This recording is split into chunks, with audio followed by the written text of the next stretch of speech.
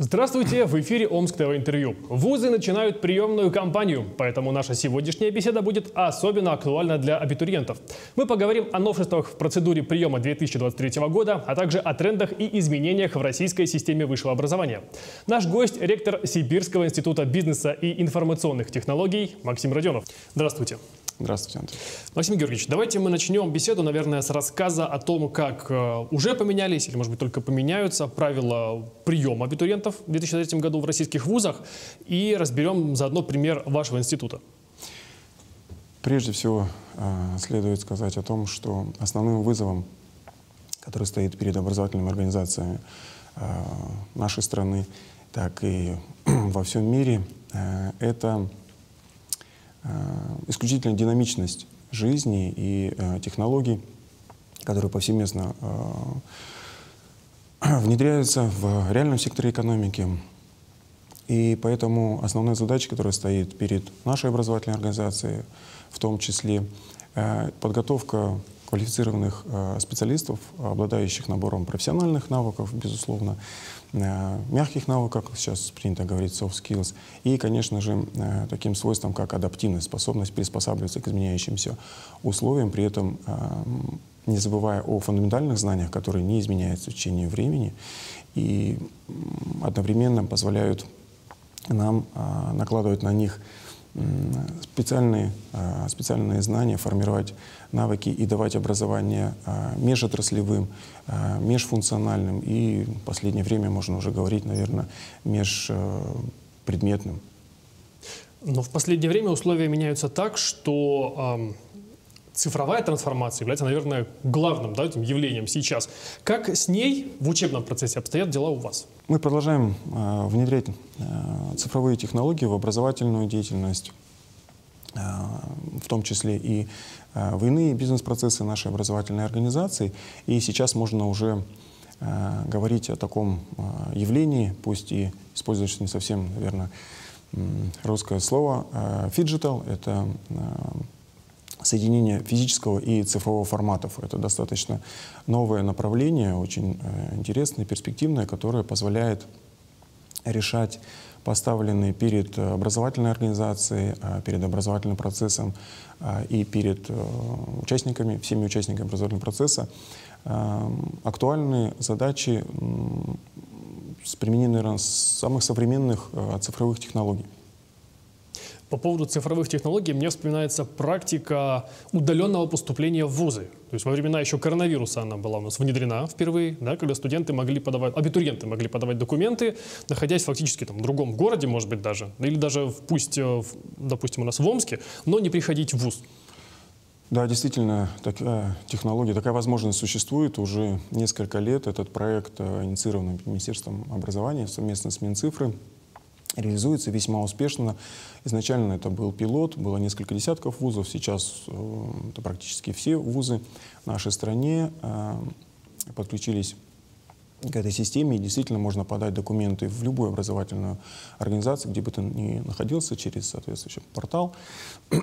Э, но при этом любые технические новшества, да, любые технологии подразумевают и создание условий по поддержанию их работоспособности. Это очень важный момент, и огромные ресурсы сейчас выделяются на то, чтобы эта система э, работала, работала эффективно. Э, но при этом мы должны понимать, э, что возможность прийти в образовательную организацию, посмотреть вживую, как проходит образовательный процесс, где ты будешь учиться, где будет учиться твой сын или дочь, это очень важно, пообщаться с живыми людьми, иметь возможность э, пообщаться с специалистами приемной комиссии, задать вопросы, получить на них ответы здесь и сейчас, э, а не, скажем так, с применением э, технологий, разнесенных по времени. Но если оценить сам цифровой эксперимент, как вы считаете, его можно успешным назвать? Я думаю, да, конечно же, э, этот эксперимент, я бы, наверное, назвал его все-таки это проектом, он реализуется, он уже масштабируется, э, масштабы уровня э, России. Э, поэтому говорить о перспективах развития этого проекта можно уже в части каких-то отдельных, отдельных направлений и повышения эффективности работы всех ресурсов, всех соответствующих систем. ну и самого портала в частности. Если возвращаться к Phygital институту, который мы уже затронули, как это будет выглядеть? Хотелось бы узнать чуть подробнее. Phygital, как, э, как я уже сказал, да, э, соединение физического и цифрового присутствия обучающихся и, в принципе, всех участников образовательного процесса Э, представляет собой э, одновременно и физическое нахождение в аудитории, как это как мы привыкли, да, классическое образование, общение с э, живыми преподавателями, так и возможность одновременного подключения к занятию, к лекции, будет это практическое какое-то занятие, проведение лабораторных работ с использованием цифровых симуляторов, эмуляторов процессов. А, в том числе процессы, связанные с э, движением контингента, например, да, процессы, связанные с э, обслуживанием образовательного а, процесса получения необходимой документации можно осуществлять через, э, например, цифровой портал, через цифровые сервисы образовательной организации, через личный кабинет, например, вот, технологии, которые реализованы в нашем институте. То есть любой вопрос, любую информацию, обучающийся, где бы он ни находился, имея точку доступа, э, может э, узнать, задать вопрос, запросить необходимые документы, одновременно подключиться к, как я уже сказал, какому-либо э, занятию согласно своему расписанию, а также к тем занятиям, которые проходят, например, в параллельно в, по другим направлениям подготовки. Если ему это интересно, пожалуйста, в качестве слушателя, него такая возможность имеет место быть сам процесс э, фиджитализации, он имеет какие-то временные рамки? Потому что я, например, встречал информацию о том, что проект вроде как должен по подойти к концу глобально в 2025 году. Наверное, проект носит формат такой перманентной революции, если можно этот термин применить. Э, цифра все глубже и глубже, если можно так сказать. Проникает э, деятельность образовательных организаций. Э, если говорить на примере нашей нашего института, Сибирского института бизнеса, информационных технологий, то как раз э, направление бизнеса да, и IT являются приоритетными. И в связи с этим два проекта мы сейчас реализуем. Это содействие в трудоустройстве выпускников. Я на различных площадках не раз уже об этом говорил.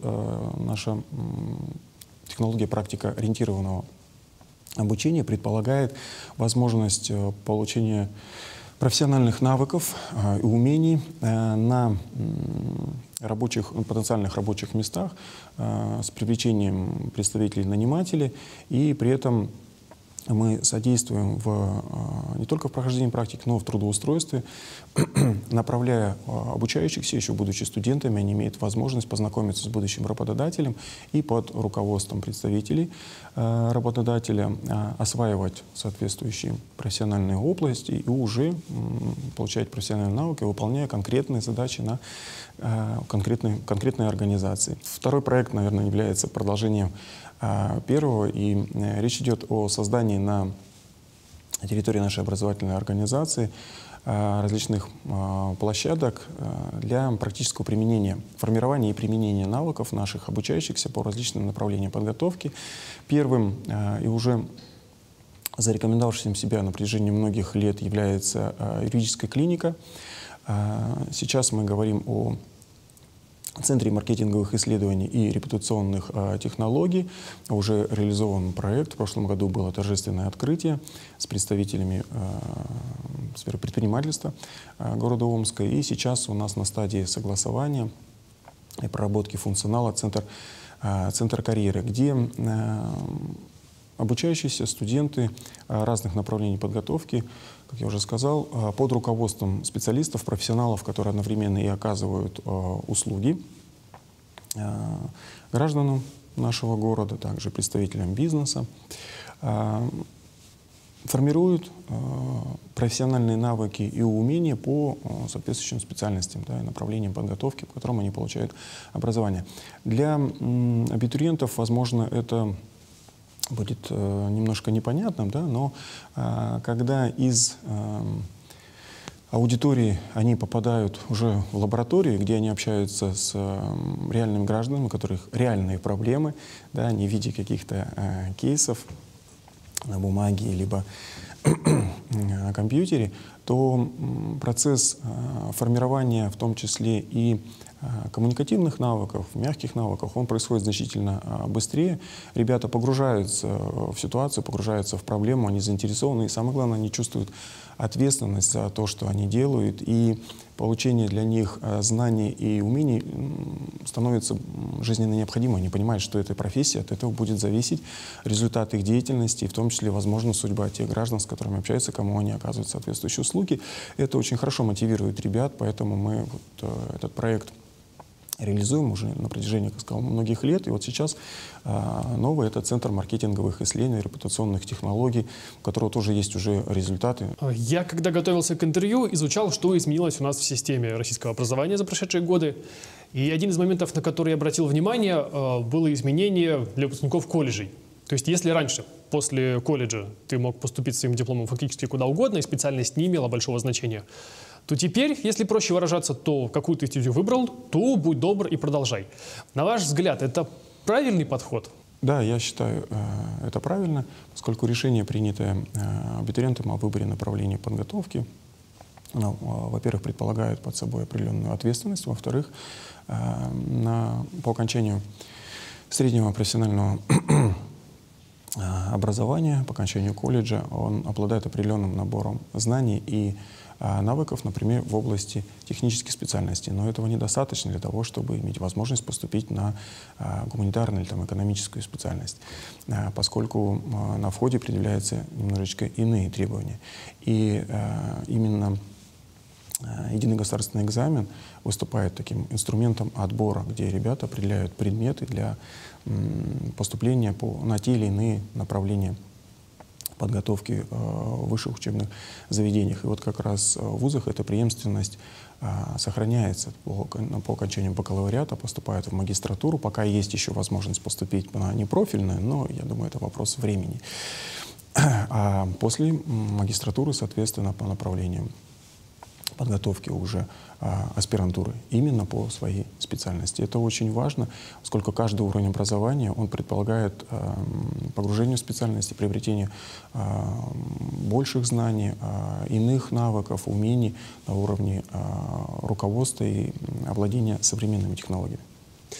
Сейчас как раз в сфере образования идет еще один такой глобальный да, тренд — это все-таки переход на нашу национальную систему образования. То есть отказ от баллонской системы в чистом виде и создание вот чего-то своего.